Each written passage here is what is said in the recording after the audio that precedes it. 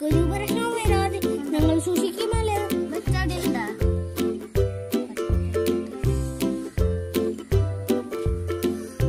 നല്ല വിഷമുണ്ട് അണ്ണ മരിക്കാതെ.